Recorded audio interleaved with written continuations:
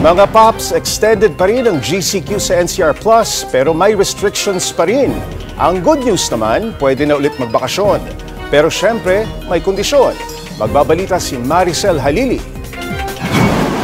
Sa kabila ng pagbaba ng COVID-19 cases sa Metro Manila, extended pa rin ang General Community Quarantine o GCQ with heightened restrictions sa buong NCR Plus hanggang June 15 meron pa rin banta na biglang lumambo uli kung tayo ay babalik talaga sa normal, no? At least sa normal na GCQ.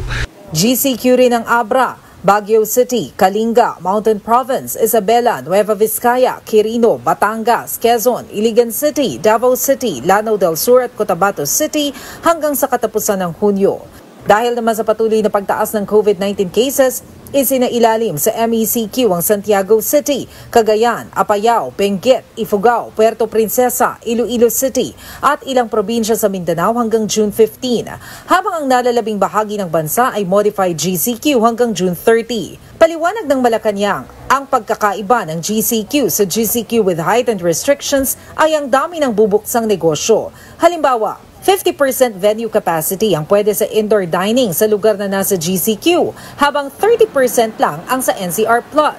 50% sa mga parlor na nasa GCQ pero 40% lang sa NCR.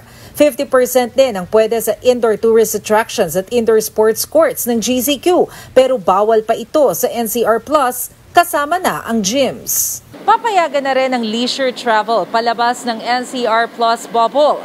Walang age restrictions pero point-to-point lang ang pwede. Ibig sabihin, kailangan diretso agad sa destinasyon at bawal ang side trip. Requirement sa edad 17 pababa at 66 pataas ang RT-PCR test habang didepende sa pupuntahang LGU ang mga edad 18 hanggang 65 kung kailangan pa ng RT-PCR test o hindi na. Kailangan din sumunod ng turista sa protocol ng pupuntang probinsya.